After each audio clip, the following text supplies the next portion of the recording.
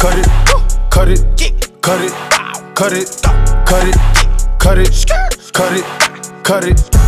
Them bricks is way too high, you need to cut it.